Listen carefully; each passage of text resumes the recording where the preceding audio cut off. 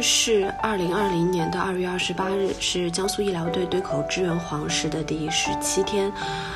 嗯，我作为江苏省中医院的一员，被分配至黄石市中医院，也是他们市定点的传染病医院的重症医学科进行支援。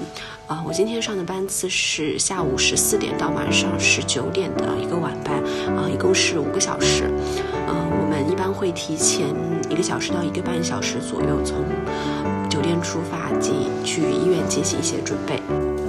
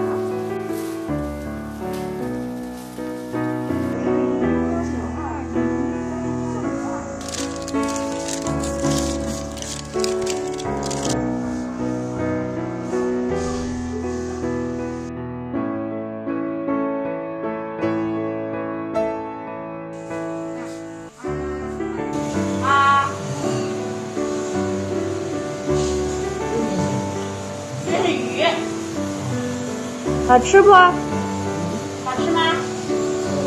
可以。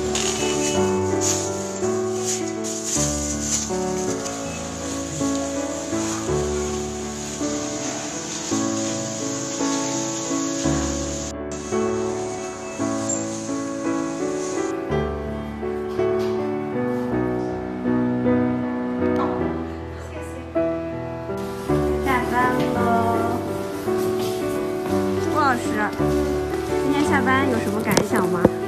嗯，因为今天刚开始上班的时候太热了，早上又限水了，所以可能是因为刚上班的时候太过缺水，导致又导导致导致我当时有点胸有点，调节了自己的呼吸，休息了大概十分钟左右，后来稍微好一点了。我觉得是不是？是不是后来病房忙起来了？我一直在忙，后来就感觉不到自己的胸闷了，所以就忘记这回事了。啊，然后现在的下班的感觉就是，哎呀，少戴一层口罩的感觉真好啊！脱了防护衣的感觉真真舒畅啊，真透气啊！我要喝两千毫升水，今天的晚餐。郭老师，今天是你女儿的生日，今天对女儿有什么表示吗？嗯，我还没有来得及呢，我想要晚上回去把自己先回去休息一下，休息完了要跟她打个电话。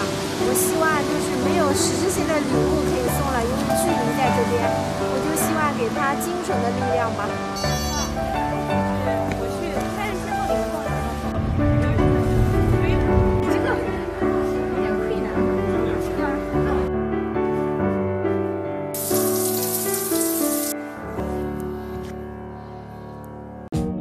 更多精彩尽在中国新闻网客户端。